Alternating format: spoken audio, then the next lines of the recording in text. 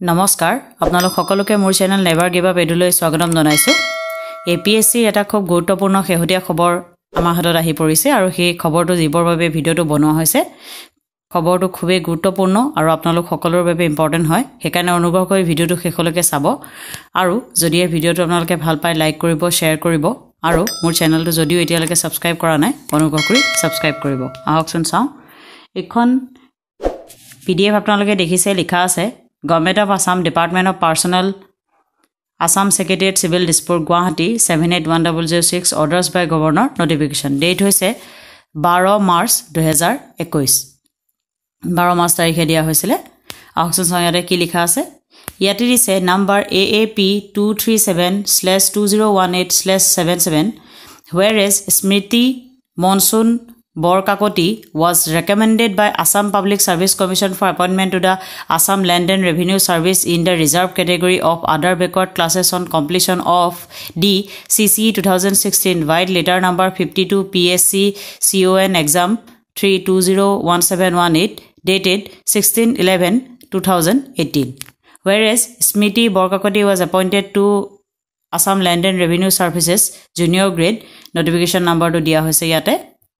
ইয়াতে দিয়া হৈছে forwarded and allegation of submission of fake O' B C certificate by Smriti Monsoon Borkakoti তেখেতে fake certificate submit কৰিছিলে। ইতিমধ্যে আমি এই কথাটো জানোৱেই যে এ পি এছ চিৰ ফালৰ পৰা ইকুইভেলেঞ্চ কমিটি তেওঁলোকে বনাইছে।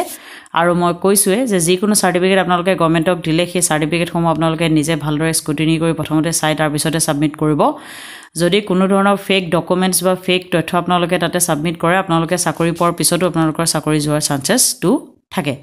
সেয়েহে whereas the government of Assam personnel department vide letter number ইমান? বিছ বাৰ দুহেজাৰ ওঠৰ request the deputy commissioner Jorhat to cause and enquiry and verify the authenticity and genuineness of the caste of Shrimati Monsoon Borkakoti the deputy commissioner vide letter number dated ইমান?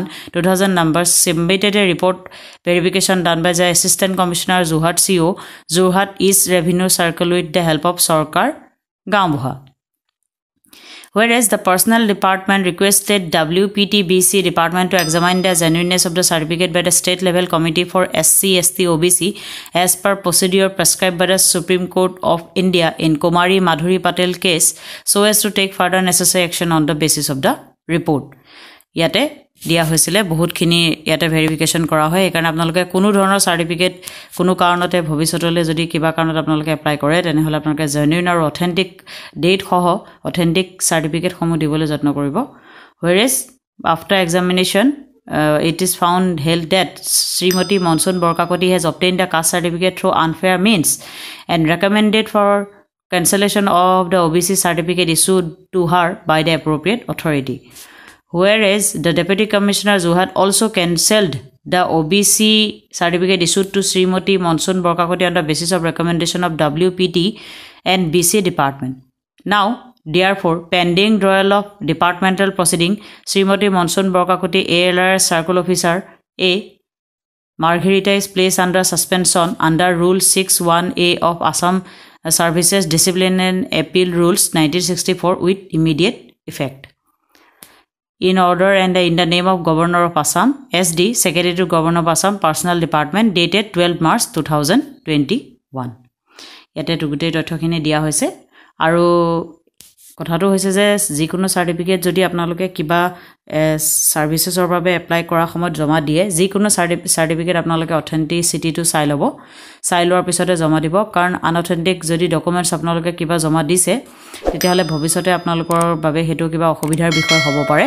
সেইকাৰণে বাৰে বাৰে ডকুমেণ্টছসমূহ verify কৰিব ডেটসমূহ দিয়াৰ সময়ত ভালদৰে চাব আৰু ভৱিষ্যতৰ যিখিনি অসুবিধা আছে সেই অসুবিধাখিনিৰ পৰা ৰেহাই পাবৰ বাবে এই তেনেধৰণৰ আপোনালোকে অথেণ্টিক ডাটা দিব।